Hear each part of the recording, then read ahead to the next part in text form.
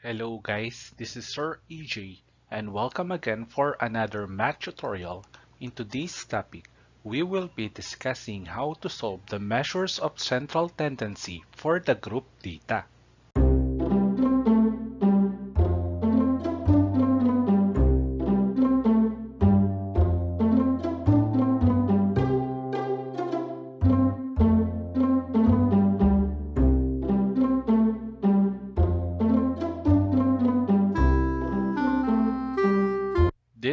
The following objectives we need to attain for today's topic. Letter A. Fill up the frequency distribution table. Letter B. Solve the mean, median, and the mode for the group data. And letter C. Value accumulated knowledge as means of new understanding. Let's have this example. These are the test scores of Gita and Pythagoras in a math exam. So these are their scores. So all in all, we have 50 students who took the exam.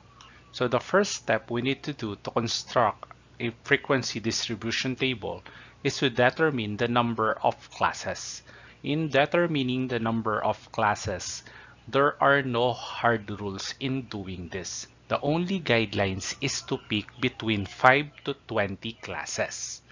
But there is a more mathematical way in doing this, and that is to use the formula k classes is equal to 1 plus 3.322 logarithm times n. And that is what we will be using for today.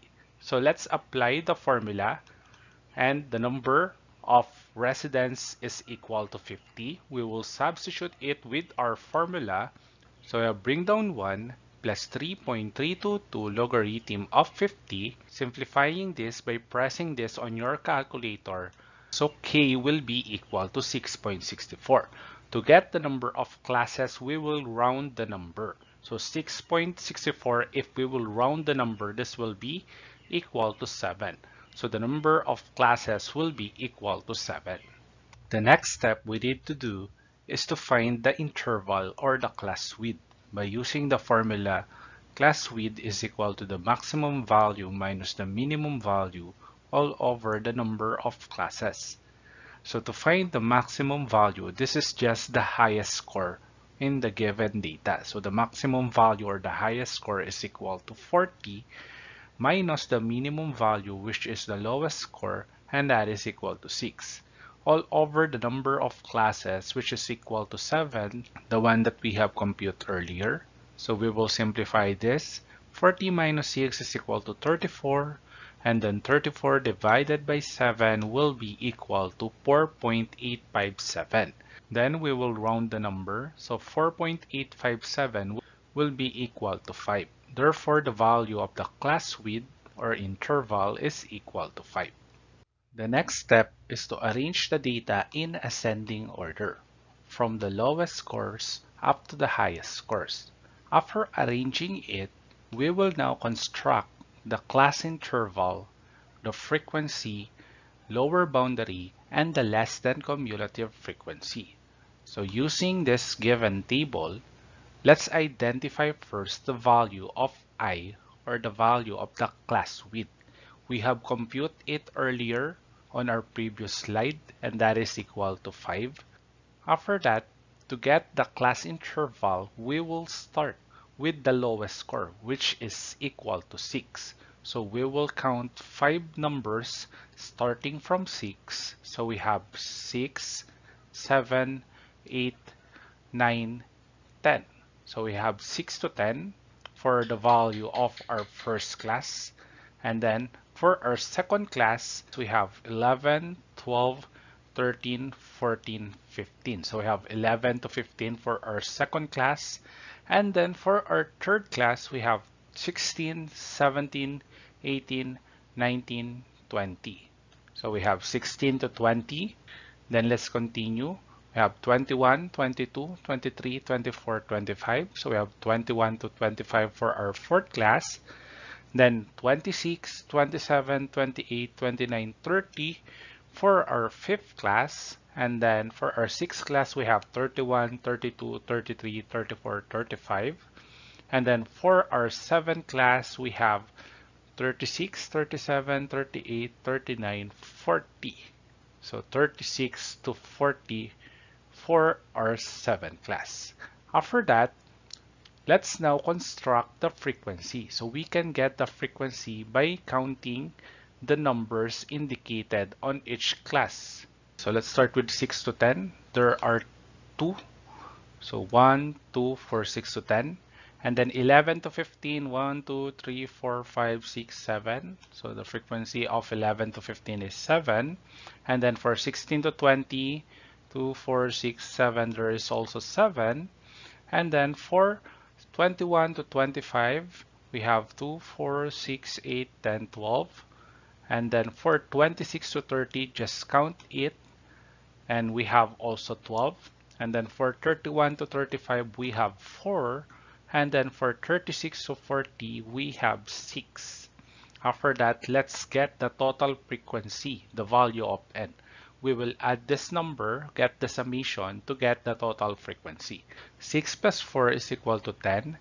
10 plus 12 is equal to 22. 22 plus 12 is equal to 34. 34 plus 7 is equal to 41. 41 plus 7 is equal to 48 and then 48 plus 2 is equal to 50. So the total frequency is equal to 50. Then after that, let's find the lower boundary. So to get the lower boundary, we will just subtract all the lower limits by 0.5. So we have 6 minus 0.5 that will be equal to 5.5. 11 minus 0.5 that will be equal to 10.5.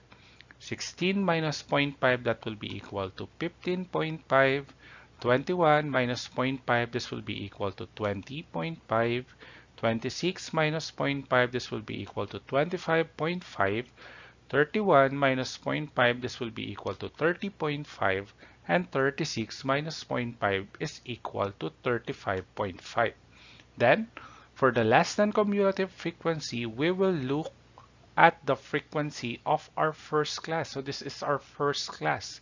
What is the frequency of our first class? So the frequency of our first class is equal to 2. So we will write 2 here. We will just copy 2 here. And then after that, we will add 2 by the frequency of the second class. So 2 plus 7 will be equal to 9. So 9 will be added to the frequency of the third class. 9 plus 7 will be equal to 16 and we will just continue the process 16 plus 12 will be equal to 28 28 plus 12 will be equal to 40 40 plus 4 will be equal to 44 and 44 plus 6 will be equal to 50 the next step is to solve for the midpoint and the frequency times the midpoint so to get the midpoint we will just add the lower limit and the upper limit divided by 2 so 6 plus 10 is equal to 16 divided by 2 is equal to 8. 11 plus 15 is equal to 26 divided by 2 is equal to 13. 16 plus 20 is equal to 36 divided by 2 is equal to 18. 21 plus 25 is equal to 46 divided by 2 is equal to 23. 26 plus 30 is equal to 56 divided by 2 is equal to 28. 31 plus 35 is equal to 66 divided by 2 is equal to 33. 36 plus 40 is equal to 76 divided by 2 is equal to 38. After that, let's find the frequency times the midpoint. So we will just multiply the value of the frequency times the value of the midpoint. 2 times 8, this is equal to 16. 7 times 13, this is equal to 91. 7 times 18 is equal to 126. 12 times 23 is equal to 276. 12 times 28 is equal to 336. 4 times 33 is equal to 132. 6 times 38 is equal to 228. And then we will add all these numbers under the frequency times the midpoint column so we will get the summation of frequency times the midpoint. So adding all these numbers will be equal to 1205. So the summation of frequency times the midpoint is equal to 1205. So let's now calculate the mean for the group data. So we will be using the formula of mean for the group data. Mean is equal to the summation of frequency times the midpoint all over n. So all we need to do is to divide 1205 divided by 50. So 1205 divided by 50, so mean will be equal to 24.1. Therefore, the average of the scores of 50 students of G10 Pythagoras in a math test is equal to 24.1. So let's now calculate the median. So in calculating the median, so we have construct already the cumulative frequency distribution and then we will decide the class that contains the median class and then the median class is the first class with the value of cumulative frequency which is equal at least n over 2 and then we will be using the formula of the median. So this will be the formula of the median. Median is equal to LB plus the quantity n over 2 minus less than CF sub B all over F sub M times the class width, wherein n is equal to the total frequency and then less than CF sub B is equal to the cumulative frequency before the median class. Fm is equal to the frequency of the median class Lm is equal to the lower class boundary of the median class and i is equal to the class width or the interval. Let's now calculate the median. So in calculating the median, again, the first step is to get the median class by using the formula n over 2. So we will divide the total frequency by 2. 50 divided by 2 will be equal to 25. And we will check the column for the less than cumulative frequency which of these numbers is greater than or equal to 25? So the first number which is greater than or equal to 25 is 28. So therefore, the median class is located on the fourth class. So since 28 is on the fourth class, so median class will also be on the fourth class.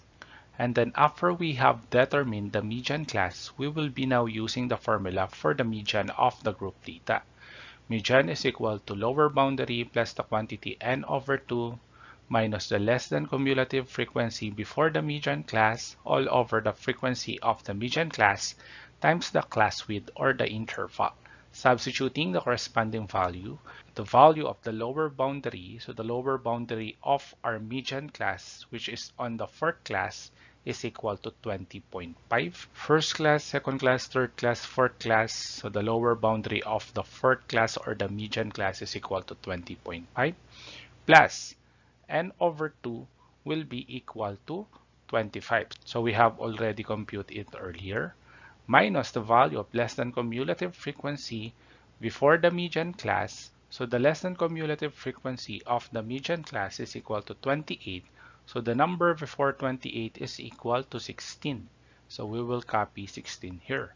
Then the frequency of the median class, so the frequency of the fourth class is equal to 12 times the class width, which is equal to 5. After that, we will be simplifying this. So bring down 20.5 and then 25 minus 16 is equal to 9. Then 9 over 12 is equal to 0 0.75 and then 0 0.75 times 5 is equal to 3.75. So 3.75 plus 20.5 is equal to 24.25. Therefore, the middle value or the median is equal to 24.25. Let's now calculate the mode for the group data.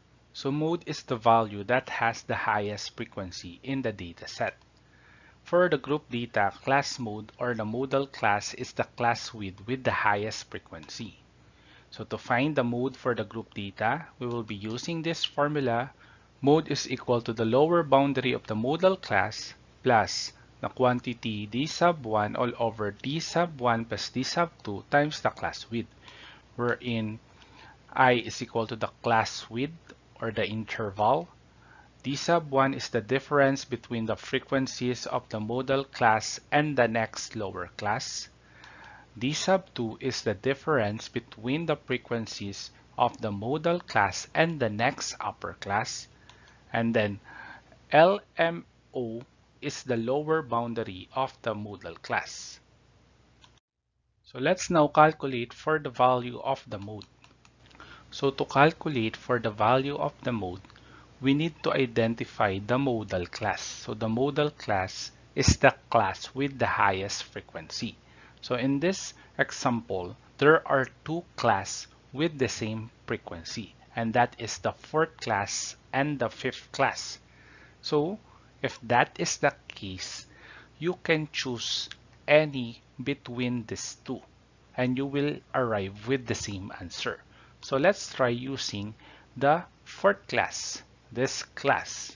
So this class has a frequency of 12. So lower boundary of the modal class is equal to 20.5. So the lower boundary of the fourth class.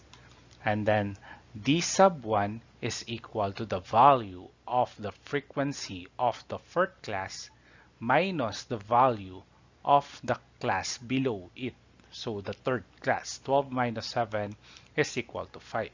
And then to get the value of d sub 2, it is the value of the frequency of the modal class minus the value of the frequency of the next class, which is the frequency of the fifth class. So 12 minus 12 will be equal to 0.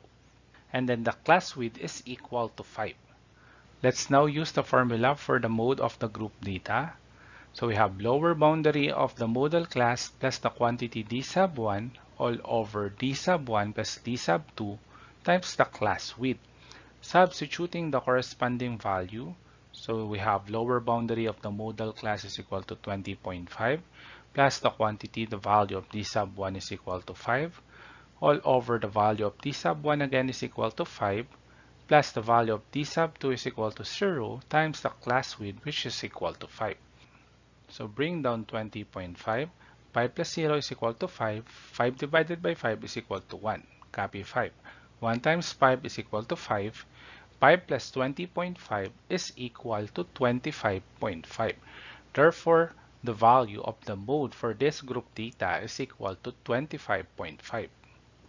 Let's check if we will arrive with the same answer if we will be using the fifth class for our modal class. So the lower boundary of the modal class is equal to 25.5. So modal class is on the fifth class, first class, second class, third class, fourth class, fifth class, and the lower boundary is 25.5. So to get the value of d sub 1, we will subtract the frequency of the modal class, which is equal to 12, minus the frequency before the fifth class. So the frequency before the fifth class is the frequency of the fourth class, which is also equal to 12. So 12 minus 12 will be equal to 0. For d sub 2, we will get the frequency of the modal class, which is equal to 12, minus the frequency of the next class, which is equal to 4. So 12 minus 4 will be equal to 8. So d sub 2 will be equal to 8 and the value of the class width is equal to 5. Let's now use the formula of the mode for the group data. So we have mode is equal to the lower boundary of the modal class plus the quantity d sub 1 all over d sub 1 plus d sub 2 times class width or interval. Substituting the corresponding value, so we have 25.5 plus the quantity, the value of d sub 1 is 0. Again, d sub 1 is 0 d sub 2 is equal to 8, the class width is equal to 5. We will simplify this. So we have bring down 25.5, then 0 plus 8 is equal to 8. 0 divided by 8 is equal to 0. 0 times 5 will be equal to 0. So the value of the mode is equal to 25.5. Therefore, the value of the mode is equal to 25.5. So we have get the same answer using the fourth and fifth class as our modal class. So they are the same.